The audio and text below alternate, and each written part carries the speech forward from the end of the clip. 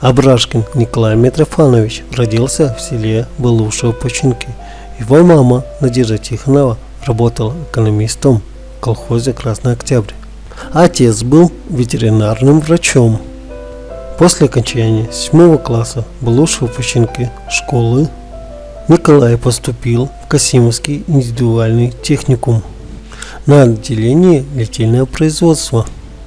Преподаватели школы, кто еще помнит, говорят, что учился в школе хорошо, был старательным и способным учеником. Только вот подводил его маленький рост. После он поступил в летное Оренбургское училище.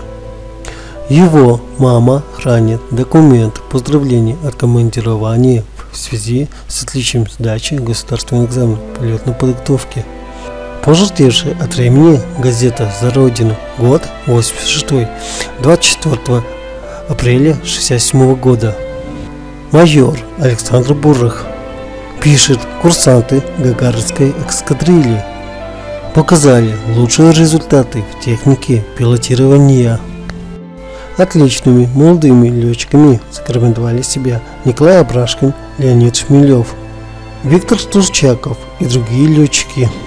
У мамы Николая Митрофанова есть книга «Авиация российского флота» под редакцией Игоря Дмитрия Фединина Санкт-Петербург.